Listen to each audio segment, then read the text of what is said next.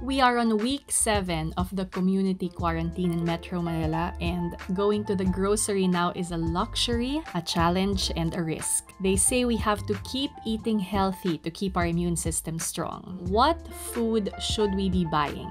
I wanted to know the breakdown of what we need to be eating more of, and thanks to nutrition expert Doc Jundi Maano for this interview. Hi, hi, Doc June. Hi, hello you, to you, you and to all of your followers. Thank you for taking the time out to uh, have this chat. A lot of parents have questions, especially during this challenging time. So the first question is, we see all these reminders na kumain ng tama, kumain ng healthy. But can you break it down for us, Doc? Ano ba yung mga pagkain kailangan nating kainin to get the nutrition that we need para ma-boost yung immune system natin? Okay, that's a good question and an important one. No? Lalo na ngayon, ang challenge na nakikita ko is especially the choice of the nutrition and our access and the availability mm-hmm. of the different types of food that we need are kind of limited or challenging to get. Yeah. Kailangan din natin i-maintain yung health natin by getting the right food, getting enough sleep, and getting enough physical activity. Mm-hmm. Now, one of the easiest ways to maintain our health is really through proper nutrition. It right. can be easy and at the same time difficult, especially if we pantry load. No? I would suggest now we get more fresh produce mm-hmm. and we mm-hmm. prepare home cooked meals para sa ating pamilya. Yes. Now, question more is about the different types of food, right? Yes, yes. Kunyari nga, ikaw ang nakatokang pumunta sa grocery. Alin yung mga gulay na importante kong makuha Because honestly, Doc, di ba, ang dami ding tao who want to load up on vitamins. Pero one, mahal ang vitamins. Right. And two, ang hirap na maghanap. So I actually have a doctor friend who said, huwag nyo na i-prioritize yung vitamins. Nasa pagkain talaga. That's really, really correct, correct. So, so can you help explain to us, Doc, anong food yon at anong mga specific vitamins na makukuha natin doon? Or nutrients? Sige. Okay, so we talked about first, though, yung vitamin A, the fat-soluble vitamin. Since fat-soluble siya, makikita siya sa mga fatty food food. Pwede siya sa makuha sa eggs. Pwede din siya makuha sa mga certain types of fish. No? Milk, dairy products, cheese, orange and yellow vegetables and fruits. Pero and vitamin, vitamin A, A yun din yung for eyesight, di ba?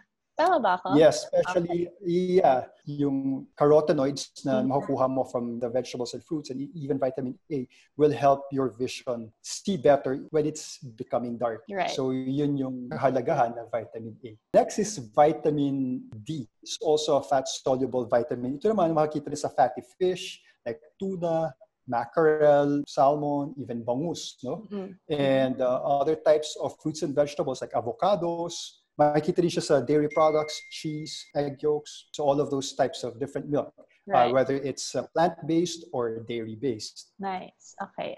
Ang vitamin E naman, since it's also fat-soluble, makikita siya sa mga nuts, almonds, cashew, and uh, even peanuts. Kasi mm-hmm. peanuts mm-hmm. are medyo inexpensive among all of those different types of nuts. But nuts are also an important source of yes. healthy fats. Okay. So sa mga different types of oil na ginagamit sa pagluto, like yung mga sunflower oil, safflower oil. Vitamin C naman, since it's water-soluble, makikita to sa maraming mga fruits, like yung mga mm-hmm. citrus fruits, like calamansi, oranges, dalandan. Meron pa yung mga pongkan ba yun? Mm-mm. Yan, yung mga Suha, oh, oranges. ba yun?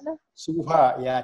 Yung mga medyo maasim. Kasi ang vitamin C is ascorbic acid siya. Mm-hmm. Diba? Kaya yun yung nagbibigay ng acid dun sa food. Right. Right. It's also important for maintaining the lining of the cells in the body, especially in the the skin, some mucous membranes natin, sa mm-hmm. mouth, in even the lining of our uh, stomach and also our gastrointestinal tract. Oh. So yun yung ah. kahalagahan naman ng vitamin C. We also have, of course, zinc, which can be found in uh, beans, mga chickpeas or garbanzos, whole grains, and whole milk. Pati ano and, ba no? Munggo? Munggo, or, pwede kasi ah, kasama. beans din siya. Considered siya na beans or legumes. So, yung ano naman, fiber, tinatawag natin prebiotic fiber, makukuha mo yan sa mga fruits and vegetables in general. Yes. And fiber is important for the nourishment of the good bacteria that is found in our gut. Right. So the good bacteria is important to feed them because they maintain a healthy ecosystem doon. Because our gut is one of the first lines of defense against uh, microbes in the uh, environment. Kasi right. pag kumain tayo, dire-diretso yun doon. So kailangan i-guard niya yung mga entry points sa katawan para hindi lahat ng mga hindi magandang microbes, yung tinatawag nating pathogenic microbes will uh, be prevented from entering the body. Kasi protein naman can be found in milk, in dairy, in, in eggs, meats, and fish. Tapos yung protein is also important for uh, building the uh, immune system, especially for the production of antibodies which right. we need to fight off infections. Increasingly kasi ngayon, madami nang hindi kumakain ng karne. So kung hindi yes. kumakain ng karne, fish ang option for protein. Eh what if yung hindi talaga masyadong pati, pati chicken and fish hindi? Yung mga, yung mga, yung mga plant diet. Yes. Yung mga nuts, yung mga mm. almonds, peanuts, cashew, may protein yan. Yeah. Tapos meron din yung mga beans, yung mga lentils, legumes, pulses, beans, garbanzos, chickpeas, yeah. green peas, Pwede yeah. rin yan. Munggo is a very uh, simple and inexpensive food. Right. Pwede mong pagkuhanan ng high quality protein as well. Correct. So marami rin ano, options for vegans or for those who are eating a plant-based diet in terms of sources of protein. Importante rin pala, isa sa favorite ko na uh, source of protein is also tofu or Yeah, I was gonna ask. Yeah. Ako ay tofu monster President. din ako. Oo. And thankfully my kids love love tofu also. Pero maganda doc ano because you mentioned several food na 2 in 1 na sila, 3 in 1, 4 in 1. Yeah. Like ang dami na lang na check off dun sa list Correct. of nutrients that we need. You did mention malunggay, Doc. Malunggay, oh, yeah. ka naririnig. Eh. Saan malunggay, yan? yeah. What yan? Um, malunggay. At saka ha? ang malunggay, like pumunta ka lang sa labas ng bahay mo, minsan may malunggay ka talagang Tama. mapipitas. Tama. Yeah. Malunggay, oh, okay din yon source of vitamin A and also vitamin E and fiber. Okay. Kaya dyan pumapasok yung uh, concept of whole food. Right. Kasi yung whole food, nandun na lahat eh. Let's say yung kakain ka ng isang ripe mango, hundreds of nutrients are present in that one mango alone compared mm-hmm. to getting, let's say, a vitamin supplement na right. isang kind of vitamin lang yung itatake mo. Yeah. Kaya maganda pa rin na whole food. Yeah, that's what you mean by whole food. Meaning, puro hindi yes. pa nagagalaw, diretso kakainin mo. Iba, ginagawa rin nila, ginu-juice nila. So parang talagang kinukuha lang nila yung juice, uh, which is also in a way good. Kaya lang nako-concentrate din masyado yung, let's say, yung, yung sugar. Let's say, kakainin mo lang is one orange or maybe two at in one sitting, Mm-mm. ang nangyayari, you're consuming parang five oranges kaagad in one sitting. Kasi genius mo siya. Ang dami rin niyang carbohydrates and sugars sa papasok sa katawan mo. Nature designed fruits and vegetables in a certain way para you only get so much at a certain, you know, time. Let's say in one sitting, one meal. Kaya siya may kasamang fiber to regulate the entry or the amount of food or nutrients that are entering your body. So maganda kainin.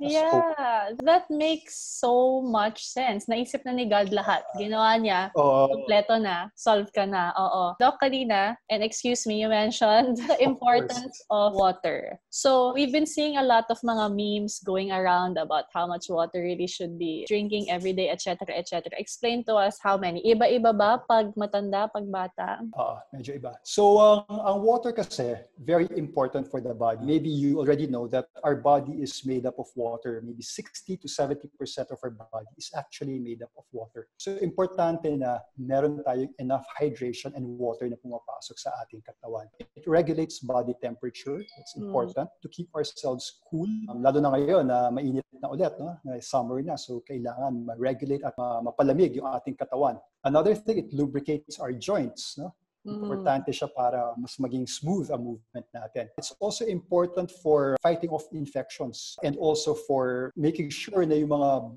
bodily fluids natin are healthy kasi it's always being flushed and being changed by a constant supply and excretion of water. Kaya lang ang drawback, pupunta ka lagi sa CR Mm-mm. to excrete whatever is in excess of water. Pero okay lang yun kasi nasa bahay lang naman tayo. Mm-mm. It's easy to do that. And also important for delivery of nutrients to the different organ systems of the body. Right. So maraming uses ng water sa ating katawan, kaya importante ito. Now, ang question is, magkaiba ba yung requirement natin for water? Let's say an adult versus a child and a man versus a woman. Yes, may pagkakaiba. For an adult male, kailangan mo ng mga 4 liters of water. Mga nasa 15 cups or mugs of water So, in one kasi day. dati ang sinasabi, di ba, 8 to 10 glasses a day. Hindi na pala enough. Pero kasi glasses yun eh. I think yung glasses mas Ah, okay.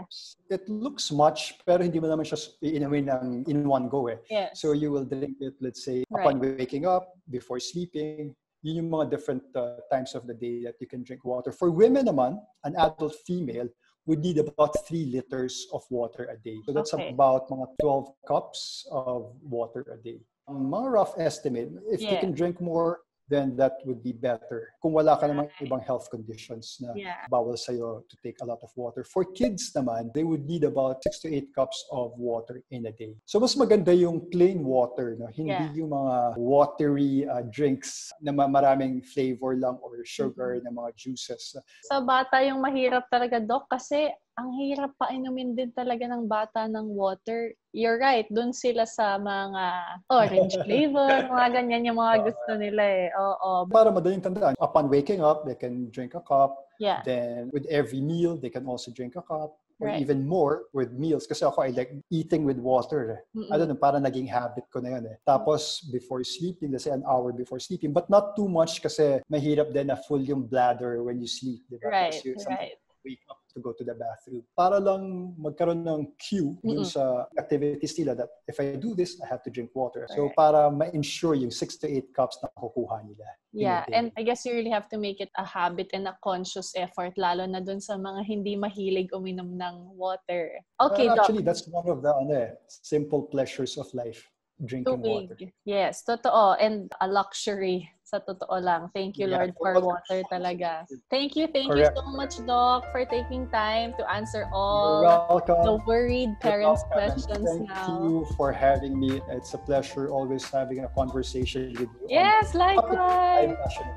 Mm-mm. yes. And uh, pero I have to end here for those of your followers and viewers who would like to know more about nutrition and the proper nutrition for the kids. They can always contact our uh, nutritionists. We have a hotline at 8995-1555 and they can get free nutrition counseling for their kids or even for themselves kasi lahat ng nagmamanong aming hotline are all nutritionist dietitians. They can call that number and they can get free nutrition counseling. Nice. That's super, super helpful, especially now at a time like this. Thank you. Thank you for that. And thank you That's so much, Doc. So, to everyone watching this, thank you. Um, I'm sure you learned a lot and stay safe and stay well. Stay healthy, everyone. Bye. Thank you. Bye-bye.